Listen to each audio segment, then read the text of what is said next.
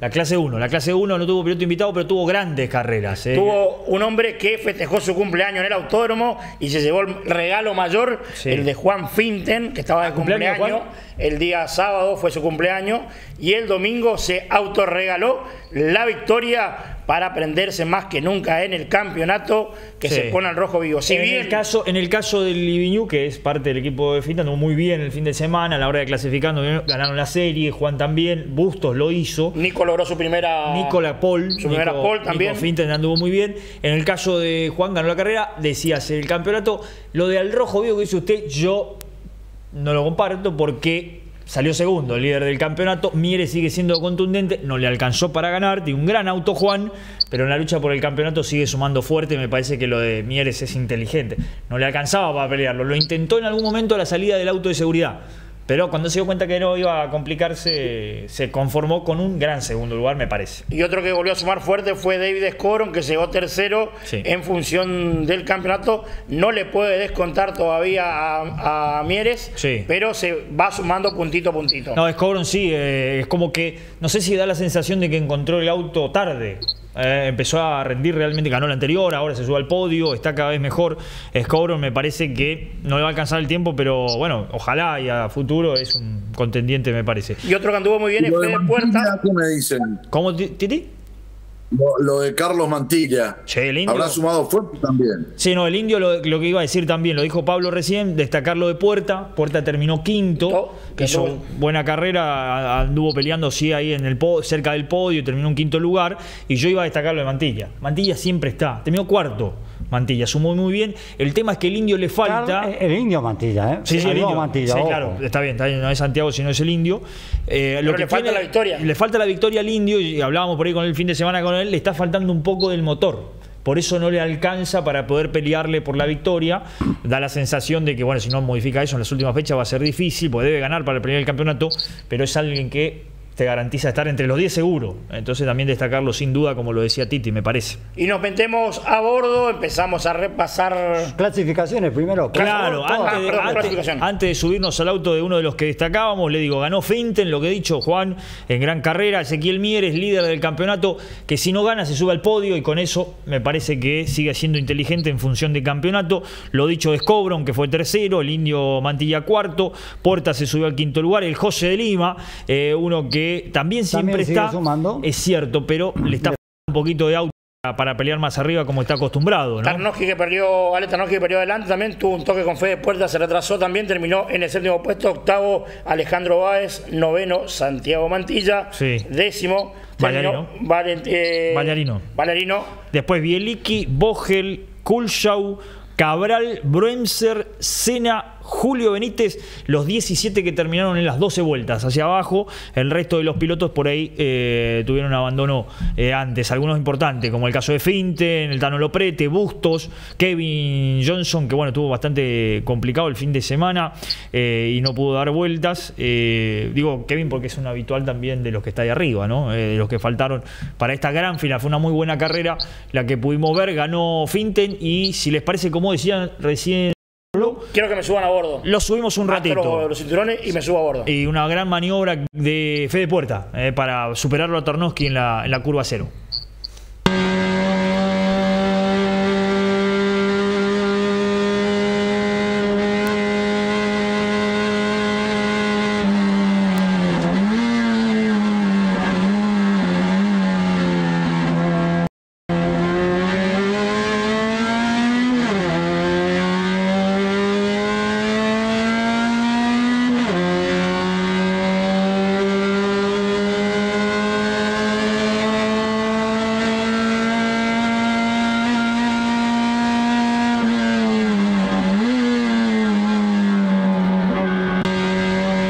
Ahí estaba, Ahí buena está. maniobra de La Puerta. tijera, la tijera de estilo Titi Camps, de Fede Puerta en la curva cero. Acá se metía tercero, después se tuvieron un roce, se retrasaron los dos y después fue, pudo recuperar gracias al gran auto que tenía. ¿eh? Perfecto. Escuchamos, ¿le parece al ganador? Juan señor. Finten, eh, que bueno, está en la pelea del campeonato, pero no solamente. El tema es que no necesita solamente lo suyo, que lo está haciendo bien, necesita que Mieres en algún momento pierda algún Baje. punto. Eh, y ahí es donde está el tema. eh, gran mérito de, de Ezequiel que sigue siendo líder del campeonato.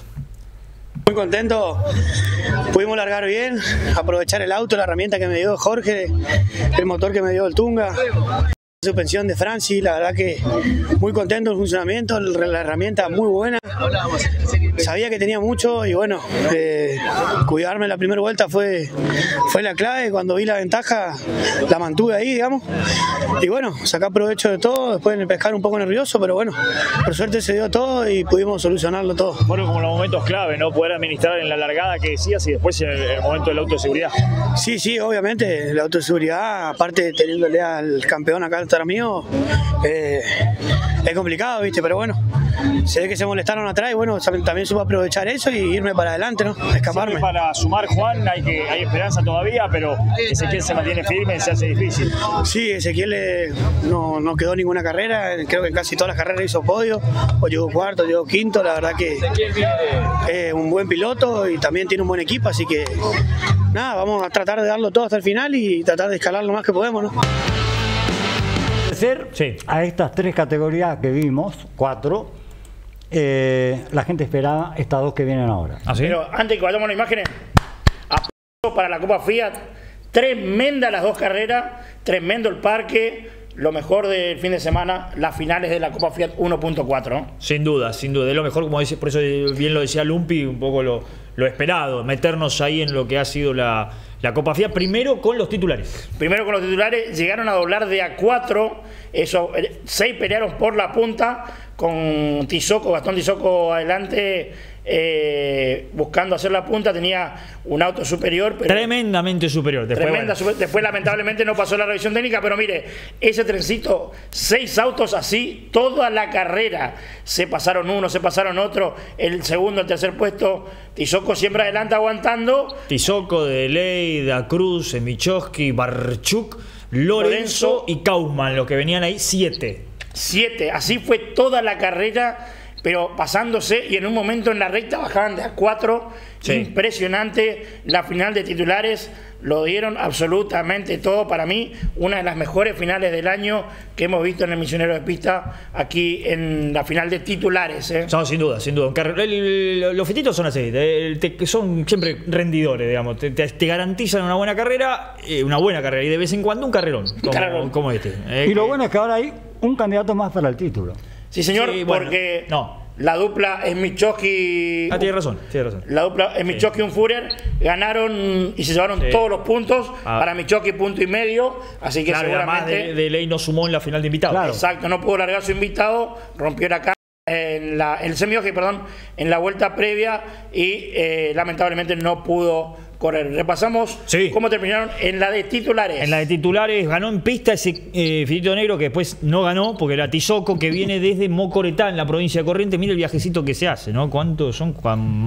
Eh, Algunos kilómetros, Mocoretá ¿no? está bien al sur de Corrientes, Sí. así que es cerca de 600 kilómetros, supongo.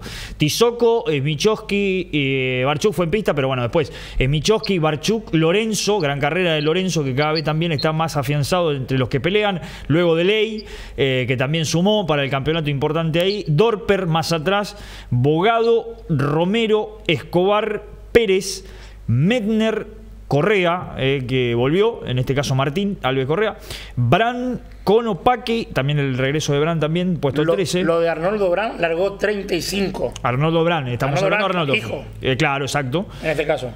Claro, pues el padre fue invitado de Butcher. También largó último porque Bucho no pudo correr la de titulares. Sí. Largó 35 y después lo vamos a decir cómo terminó. Con Opaki, luego Tesari, puesto 15, 16, Jakulski, eh, luego Lima, Cervera, Souchou que terminó 19, el 20 fue Mautino, el 21 Cervera también, bueno, en este caso el Tori, eh, Da Cruz eh, fue puesto 22, el 23 para Santa María y el 4 para Kauman, hasta ahí le cuento porque hasta ahí terminaron en las 10 vueltas.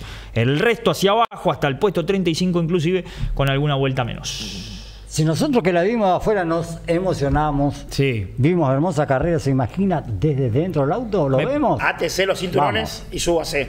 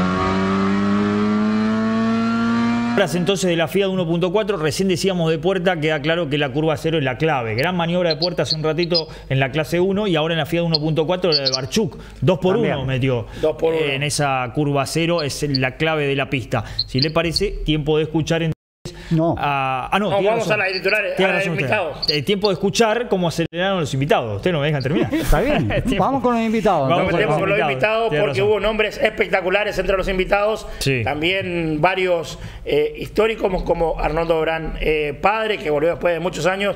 La- le decíamos, largó 35, terminó en el puesto Ya le voy a decir. eh, 13, si no me equivoco. Me lo va a corregir ahora Ma- Mauro en un ratito.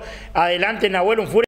Sacó la espina del año pasado, había perdido sobre la línea de sentencia, lo había dominado el año pasado y sobre la línea de sentencia le ganó Pique Recaborde. Este año dominó de punta a punta Nahuel, Nahuel Unfurer, el hombre de Puerto Iguazú.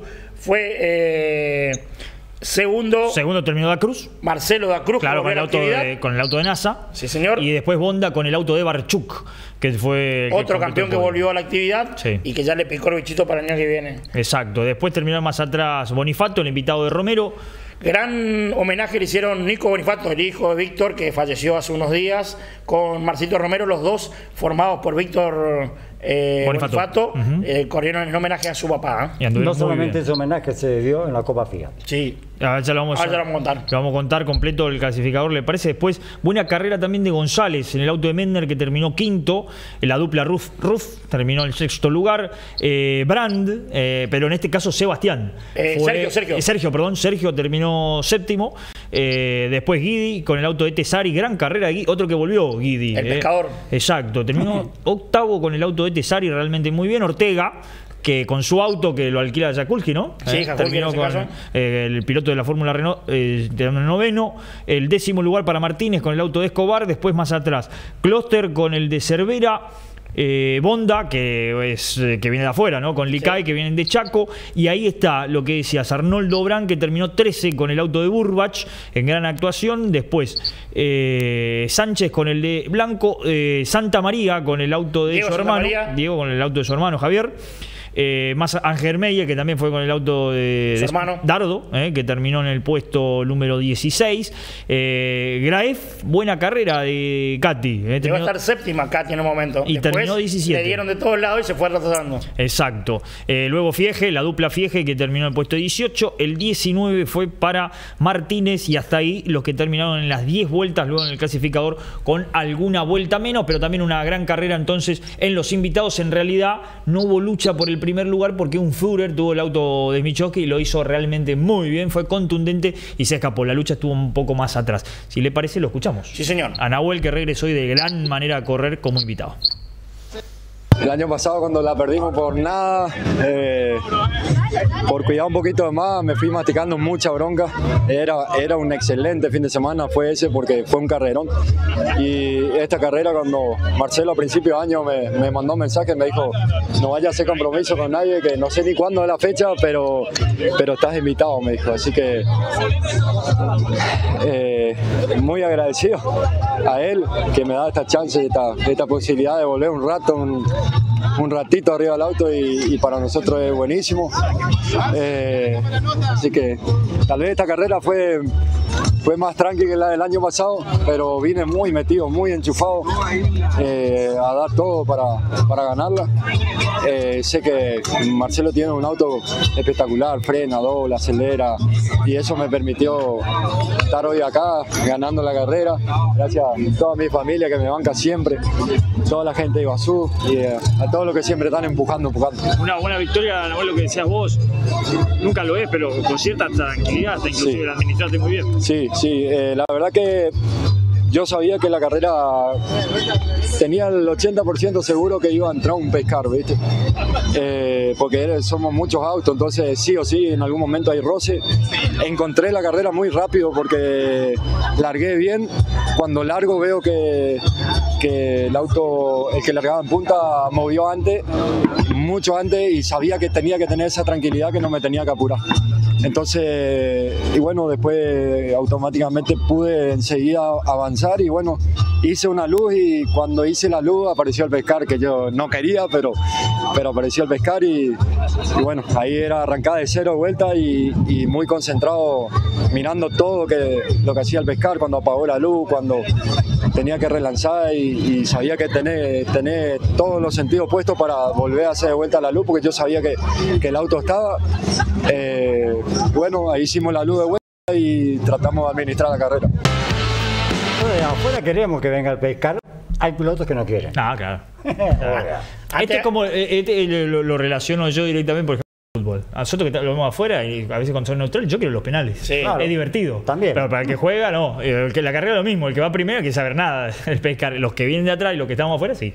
Antes de pasar a la clase 3, gran homenaje también a Gustavo Brum, lo vimos en el clip de inicio, ahí los muchachos de la Copa Fiat hicieron un minuto de silencio antes de largar la Copa de Invitados. Se cumplió un año, Se justo, cumplió un año para recordarlo al querido Gustavo Brum, que ya no está entre Y nosotros. ¿eh? pusieron una calco cada uno de los autos, le entregaron a los pilotos eh, como forma de homenaje. que Está, está bueno. Sí, señor. Bueno. Estaba buena. Y la categoría que realmente todos esperaban por la calidad de invitados que había Sí.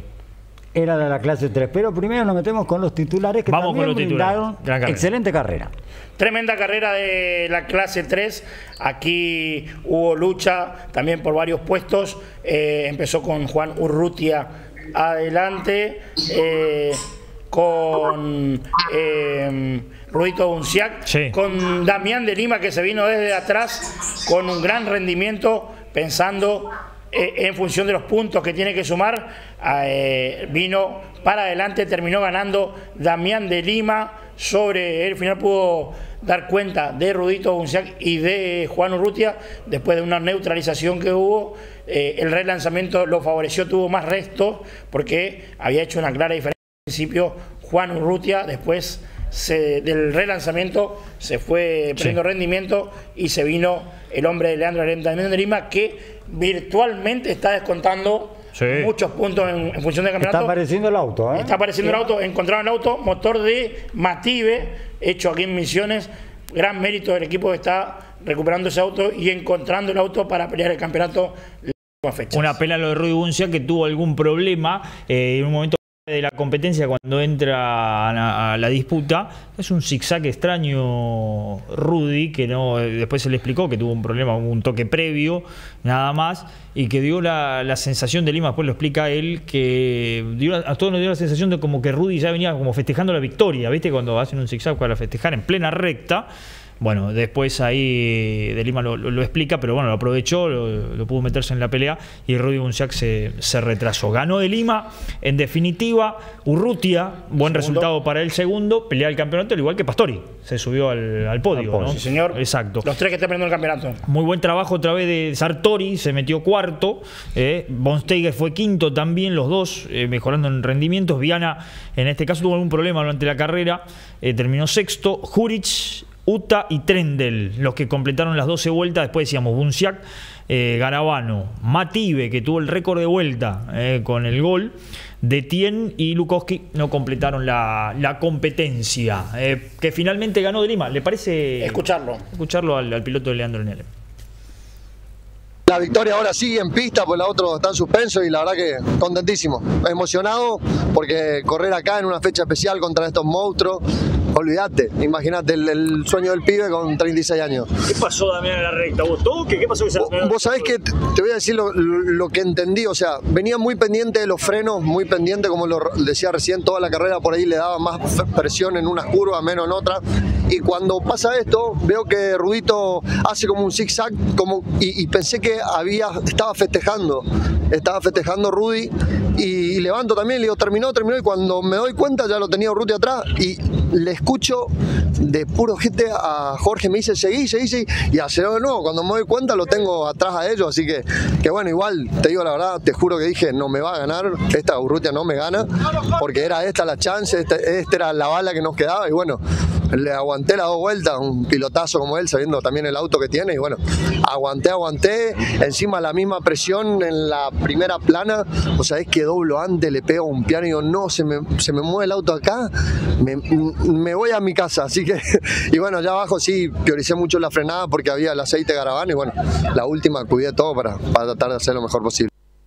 Hablaba Damián de la presión. Supongo que la presión del invitado fue igual y mucha. Sí, seguro. Sí, señor. Y los invitados estaba Tiago Martínez para alargar ahí adelante junto con Renzo Cerretti. Lamentablemente Tiago Martínez rompe el semieje en la largada, no pudo ser eh, de la partida y ahí apareció primero Renzo Cerretti. Y gran carrera, el que anduvo muy bien y mostró ritmo y no sé si no querrá volver. Coach. Coach. Coach. Dijo Coach que no, a mí me dijo que no. Sí, dijo que no, Vamos a despuntar el vicio, pero yo ya estoy retirado, estoy dedicado. Corrió con el auto de Sartori, que ahí lo vemos segundo. Sí, ¿eh? sí. Lo corrió muy bien a Cerretti. Y Usted, otro que tuvo mala suerte fue eh, en la largada Boncián.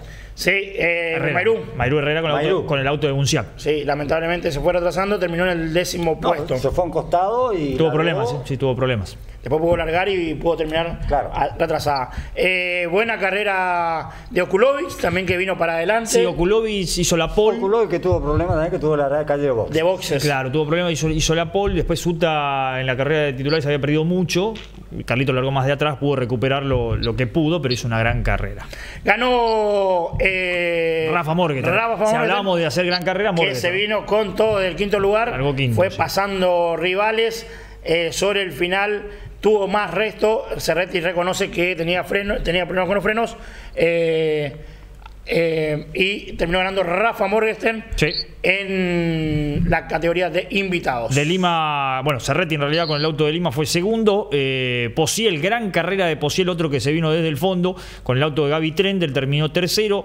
Luego Badaraco con el de Pastori. Koch, decíamos, gran carrera también con el auto de Sartori. Okulovic con el de Uta. Esnichowski con el de Juric. Lukowski con el de su hermano. eh, Jonathan, que terminó con el auto de Adriano, ¿no? En el octavo. Mative, también Juan Pablo con el auto de su hermano fue noveno. Mayrú Herrera terminó décima con el auto de Rudy Bunciac. Son los que completaron después más atrás. Antolín con el de Etienne, Viana con el de Santiago, eh, la familia Viana, y Urrutia que decíamos no pudo largar directamente. Eh, grandes beneficiados, bueno, lo de, de Lima decíamos ganó la de titulares, segundo en la de invitados, hay que ver qué pasa con la que está en suspenso, No, pero podría ganar, todavía. digamos, pensemos, imaginemos, si le dan por ganar la carrera de Lima, se prende Se como prende, gran ¿eh? candidato también. Eh, bueno, cosas para destacar, lo que dijeron algunos, y lo vamos a escuchar a, a Rafa en un ratito, eh, pilotos que mostraron que obviamente pueden andar muy bien, ¿no? El Rafa, eh, Posiel, Carlitos Okulovic. Imagínense si se suman. a- Les invito a subir a bordo con Morgenstern y después lo escuchamos. Vamos.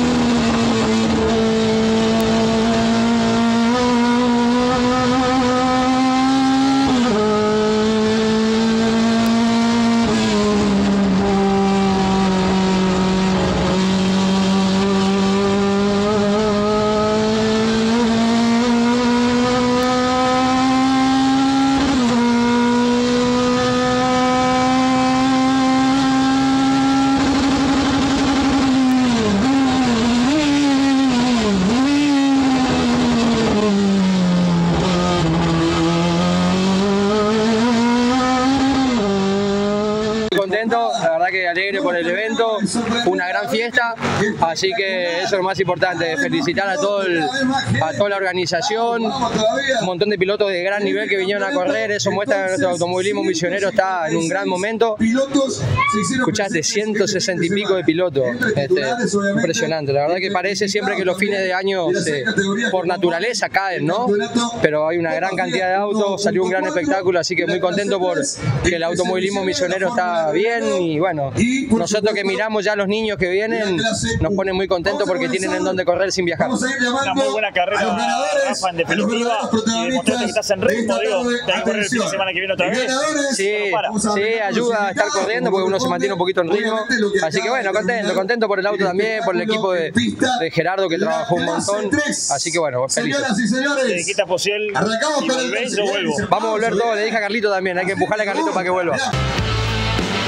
Cumple. Gran maniobra, decíamos, de Morgester que la fabricó para poder pasarlo a Cerretti. Dejamos toda la cámara, realmente una muy buena maniobra. Imagínense si vuelve Posiel, si vuelve Kulovic, si se suma Rafa. Algunas carreras por lo menos el año Va a estar linda. La próxima fecha del Campeonato Misionero de Pista va a ser en Oberá. O verá, Octubre. exactamente. En octubre. Vamos Pausa. ¿Le parece pausa y venimos? Y vamos a Puerto Rico después de la pausa. Vamos.